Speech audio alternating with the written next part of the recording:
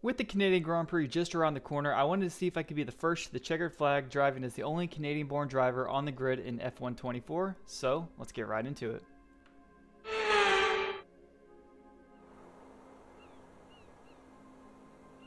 Stroll, Latifi, both Gilles and Jacques, the four Canadian point scorers here.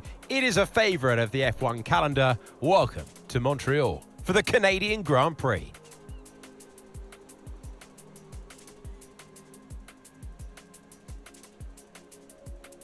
2.7 mile circuit, peaking at around 190 miles per hour. Two DRS zones, 14 turns, tight corners, a narrow track, and the famous Wall of Champions.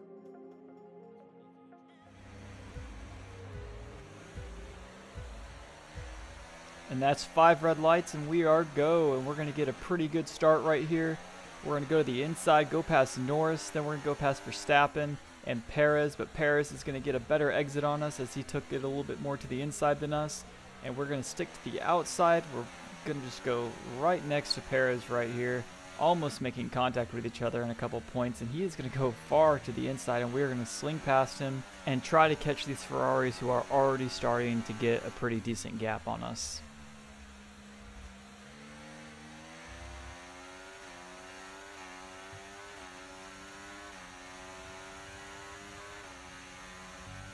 Lap two here and we got the Red Bulls hot on our tail with Perez going past us and we're just going to get behind him, get in his slipstream and see if we can make a move on him here pretty soon. I know we're going to have DRS coming up, so that could be a really good opportunity for us maybe to take our place back.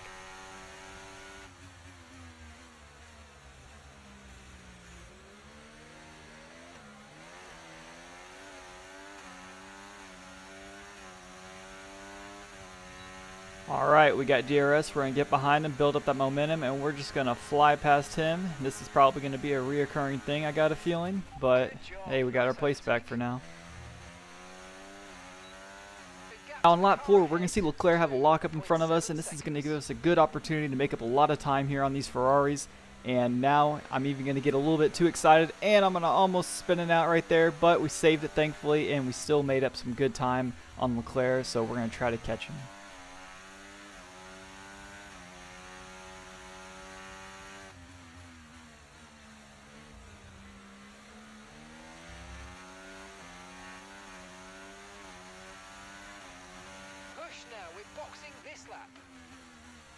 We are on lap 8 now, and we've decreased that gap to Leclerc by quite a bit, and we are hot on his tail, but he just keeps speeding away from us in these straights, and in some of these corners he's taking a lot better than us.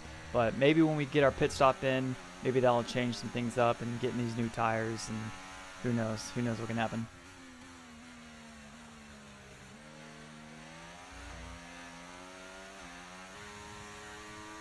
We're about to come in for our pit, and we just almost thought about maybe not taking it and going past him there, but I decided we better just go in for our pit right now and get some new tires. So we're going to try to turn in at the perfect time here, and we are going to get an optimal estimated stop time, which is always good. Get our new hard tires in and go. And we are not going to pass one of the Ferraris here, so that is not very good, but I mean, it's kind of expected at this point.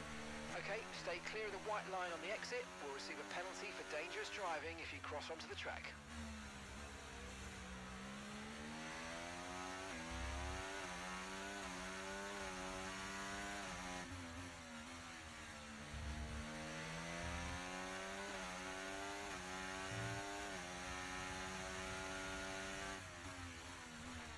So now we've got Verstappen really hot on our tail and he is just keeping up with us like crazy, just ready to pass us going on the straight here. I've already got a feeling he's going to try to pass me, so I'm going to kind of go to the inside here and block him a little bit, but that's also going to send me a little wide. Surprised I didn't get track limits there, but now Verstappen's going to get a little bit better of an exit on that corner back there, and he's going to go past us here for a second, but we are going to send it to the inside here and almost make contact with him, which I'm sure he was not happy about, but that's a typical Stroll thing to do right there, and we are still ahead of him, but he is about to get DRS, so he is going to fly past us.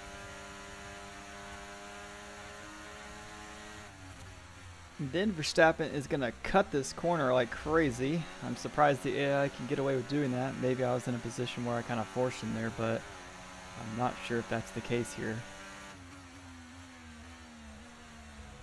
Now we got Checo and Leclerc coming out from their pit stop, and we're almost going to make contact with Leclerc right there. And we're just going to get on the throttle here and try to stay ahead of him. And we are not able to do so. We're going to sling it way too far on the inside right there. Definitely could have done better. So now we're going to try to catch Leclerc and Verstappen. It's definitely seeming like this is going to be a pretty difficult race to, to win, but we're just going to keep trying.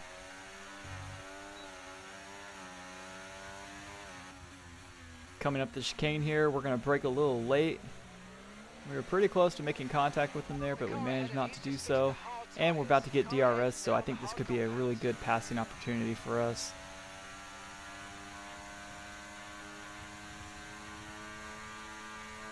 And now we just decided to full send it and just dive bomb and get past Leclerc finally and continue our race.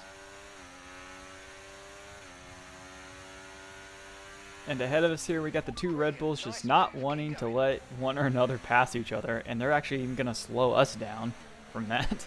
And right now, I'm just like, I don't know what to do. I guess wait until one finally passes another. But they're just going side by side. And we're almost going to make contact with Verstappen. And oh, and we are going to make contact with him. We're just going to hit his wheel and get past him. Just kind of all chaos going on right there, but at least we got past.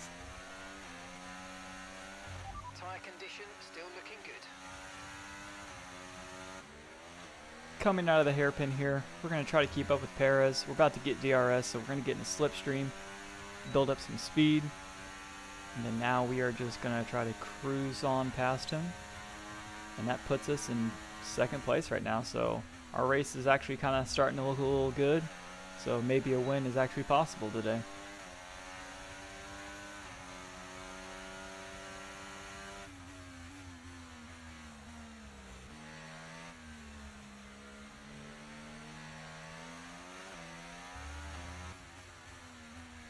Now upcoming is where my race completely gets turned upside down as we got Verstappen going to the inside of us and we're going to try to block him and he's going to send us into the barrier and we're going to get some pretty heavy uh, wing damage there. Then we're going to have Leclerc lock up for whatever reason in front of us and that's going to deploy the safety car. And we decided to go ahead and pit and maybe try to get some of the damage fixed but nobody else pitted and for whatever reason I did not uh, I guess go into the pit stop options menu or whatever and select repair the damage or I don't know. So that pretty much just took us out of the race, put in last place. Uh, Verstappen, I do believe, pitted with us, but at this point I was just like kind of done with it. So I was like, you know what, let's go ahead and just end the race in a typical Stroll fashion.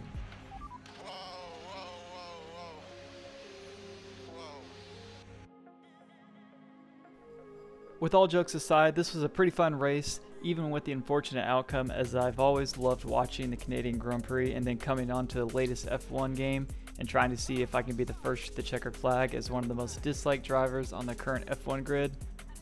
But that's going to be it for me. Please drop a like if you found enjoyment in this video, and I'll see you guys in the next one.